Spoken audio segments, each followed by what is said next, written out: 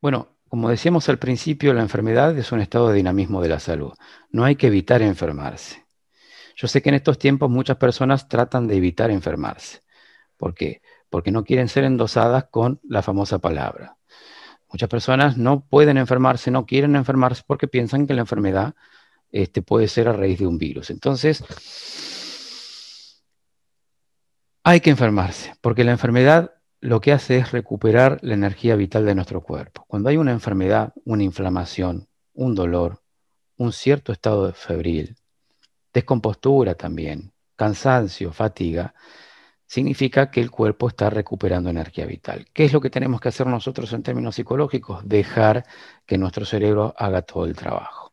Es decir, en el momento de la enfermedad, de la fiebre, saber que uno está reparando, saber que lo que está sucediendo en nuestro cuerpo es algo natural, que lo que busca la biología es que recuperemos la energía vital.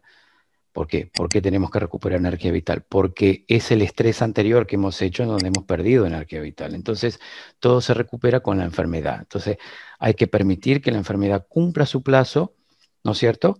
En términos de inflamación, reparación, decíamos recién, dolores, fatigas, cansancios, dolor de cabeza saber que lo que está ocurriendo es una crisis curativa. Con solo hecho de saber cómo funciona simplemente este mecanismo, basta y sobra para que no hagamos estrés durante la enfermedad.